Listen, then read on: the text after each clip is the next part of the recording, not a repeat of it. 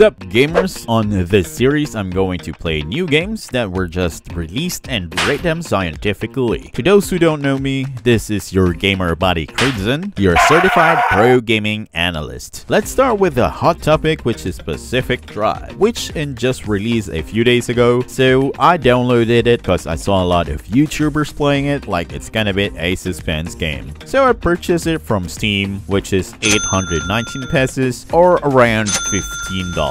I just closed my eyes and swiped my card. Now first reaction of the game. The heck, it was just mostly driving. Is it a driving simulator? I should have thought about it. The title of the game is Pacific Drive. From the word drive already should have been very obvious. But let's just have fun first and see how it goes. So I drive and drive and drive a lot. So I got bored easily and just drunk drinking and singing while driving. Tayo na giliw, magsalo na tayo, meron na tayong pinapayat keso. Also, how I score the game is based on how many stars, which are the following. Price, graphics, gameplay, content, and if I enjoyed the game. I thought it was all just driving on the road, the graphics kinda bit look cool because it was made by Unreal Engine, but there's actually a bit surprise element to the game where you are chased by something that you don't see like a radiation area or kinda bit alien. Or you know, the thing outside the map of a battle royale when time is running out. That kind of thing.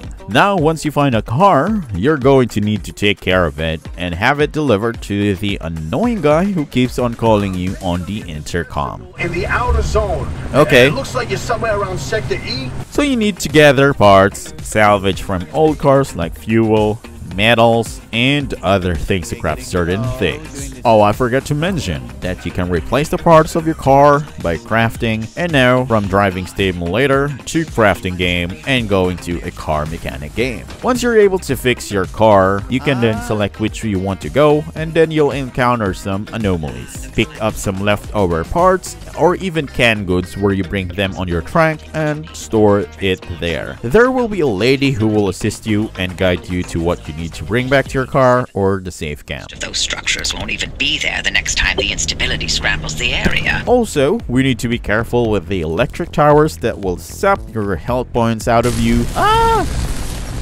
So you need to craft something that breaks the big battery beside it to turn it off.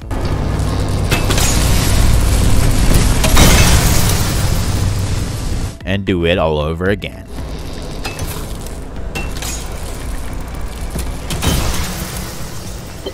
Aside from those towers, you need to evade those alien floating things that are like an AI going back and forth. What's that? Holy crap. After that, you need to get something like from the Return of the Mummy movie artifact where it will show on your map and you need to put it on your car's device. Oh sheesh, fast, fast, fast, fast, fast, fast, fast, fast. Whenever you do that, you need to run because this will happen to you. Oh no! Once you get all of them, you need to go to an anchor point where you need to be near it before you press the return button. But because I just played the game, I just pressed the things I want to press and this is the result.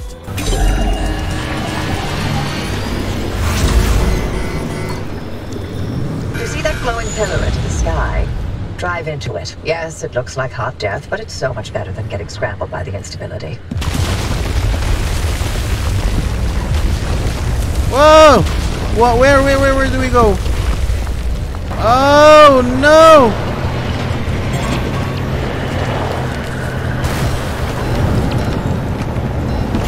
Oh